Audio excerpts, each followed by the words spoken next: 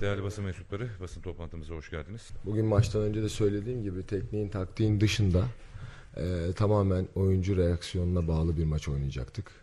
E, oyuncuların bu şekilde tepki vermesi, reaksiyon vermesi, maça sarılmaları, asılmalarını bekliyordum. E, o yüzden bu, bugün tamamen duyguyla, yürekle oynanan bir maçtı. Bunu kendilerine söyledim. Ben de çok teknik taktik olarak zaten bu iki günde fazla bir şey yapmadım. Ee, onlara tamamen e, futbolun bugün yürekle oynanacağını söyledim. Onlar da sağ olsunlar e, böyle yaptılar. Yeterli mi? Oyun olarak değil. E, yeterli değil. Daha zor maçlarımız var. Daha e, önümüzde uzun bir maraton var. Ama geliştireceğiz, çalışacağız. E, son sonraki maça bir 15 günümüz var. E, inşallah daha iyi e, hem sizlerin hislerine hem taraftarımızın hislerine e, tercüman olan bir takım yaratmak istiyoruz. E, arkadaşlarımız da bunu istiyor. E, bizler de bunu istiyoruz. İnşallah e, bugün başladık. Devamı da güzel olur. Yani e, ben futbolculuğumda da böyleydim. E, her zaman kazanmak istiyorum. E, kazanamazsak kaybetmek istemiyorum değil, kazanmak istiyorum. Doğruyu söylemek gerekirse. O yüzden çok aktif oluyorum, çok enerjik oluyorum. Çocuklara, arkadaşlarımıza duygumu geçirmeye çalışıyorum. Onlar da e, bu benim duygumu al, aldıklarını hissediyorum. Fakat e, sorduğunuz diğer soruya gelince benim hayatım zaten hep böyle ortamlarda geçti. Hep kaosun içinden sıyrılaraktan her maç hemen hemen kendimi ispat etme çabasıyla geçti biliyorsunuz. O yüzden bu ortamlara çok e, yabancı değilim. Ama tabii ki de o zamanlar futbolu kendim oynuyordum. O zamanlar her şey benim kendi elimdeydi. Şu anda futbolcu kardeşlerimizin elinde. Ben onlara sadece yardımcı olmaya çalışıyorum.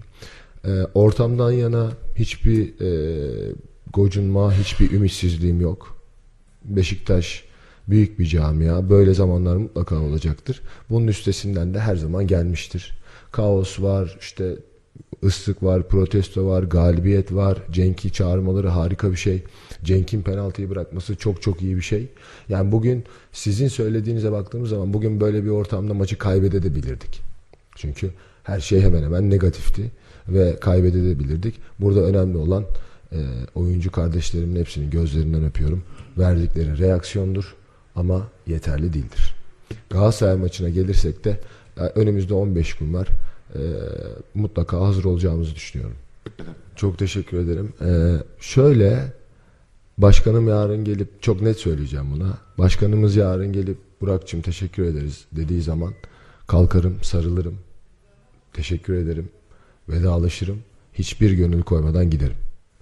Ee, başkanımız bir gün daha buradasın derse bir günün sonunda yine öyle. Bir haftaysa bir hafta, bir aysa bir ay, bir yılsa bir.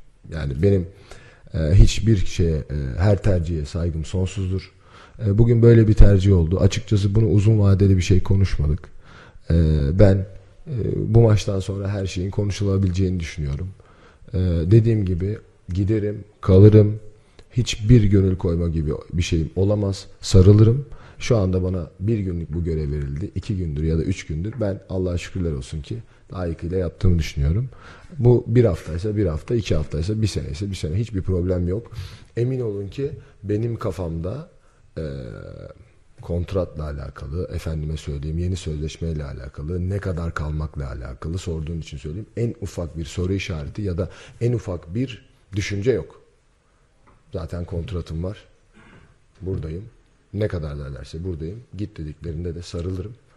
E, haklarını helal etmelerini isterim. Giderim. Bu kadar yani. Çok net. E, Salih'in, e, önce Salih'ten başlayayım. Salih'in durumunu zaten yarın MR'ı çekileceğini zannediyorum. E, sağlık ekibimiz ve kulübümüz e, sonucunu açıklayacaktır MR'dan sonra. E, ama ben e, iyi görmedim. İyi görmedim. Kendi e, fikrimi soruyorsanız iyi görmedim. Kendisiyle de konuştuğumda birazcık e, fazla olduğunu söyledi. E, yarın zaten kulübümüz ve doktorlarımız gerekli açıklamayı yapacaktır. Taraftarımızın beni e, kulübe şey yanlarına çağırması çok o başka bir o yani her duyguyu anlatmaya kelimeler yetmiyor. O öyle bir şeydi. O aslında her duyguyu anlatmaya kelimeler yetmiyor. Her duyguyu anlatmaya da gerek yok aslında. Bazı şeyler çok ortada, çok net. Benim ne hissettiğimi sizler de e, ne hissettiğimi hissedebildiğinizi düşünüyorum. Güzel şeylerdi. E, ama buraya bugün güzelliklere takılı kalmamak lazım. Çünkü eksiyiz. Bunu kabul ediyoruz. Eksiyiz, çalışacağız ve toparlayıp inşallah daha fazla layık olmak istiyoruz. Ya yani biraz böyle hani e, şey gibi olacak ama ben dün gece hiç uyumadım ya. Hiç uyumadım yani. E, ama e, bugün asıl olay otobüse bindiğim zaman hissettim. Çünkü hocanın yerine oturdum. E, hocanın odasına e, geçirdiler beni. E, hocanın yerine de oturdunca e, bazı şeyler biraz e, kafama dank etti. E, yani evet bugün ondan aldım bayrağı. E, inşallah onun kadar başarılı olabilirim. İnşallah onun kadar güzel yerlere gelip Türk futbolunda en tepeye ben de onun gibi çıkabilirim. Öyle büyük cümleler kurmam ben şöyle olacağım böyle olacağım diye ama ondan almak e, ayrı bir güzeldi e, bugün. Dediğim gibi ne kadar uzun soluklu mu olur, kısa soluklu mu olur hiç sorun değil. Ama e, bunu da yaşamak bana nasip oldu. Ondan almak, devralmak nasip oldu. Çok duyguluydum bugün. Özellikle otobüse bindiğimde kendimi gerçekten kötü hissettim ama belli etmemeye çalıştım. Çünkü sonuçta takımımızın benden etkilenmemesi gerekiyordu. Dediğim gibi güzel bir gün. Bütün duyguları bir arada yaşadığım bir gün. İnşallah bu şekilde güzelliklerle devam eder.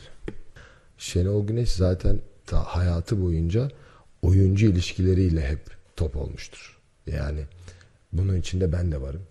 Ee, Beni de işte çok sayarız. Kuarezmasından, Engin Baytar'ından, Burak Yılmaz'ından, Jaja'sından yani çok daha sayacağımız Volkan Şen'inden çok çok e,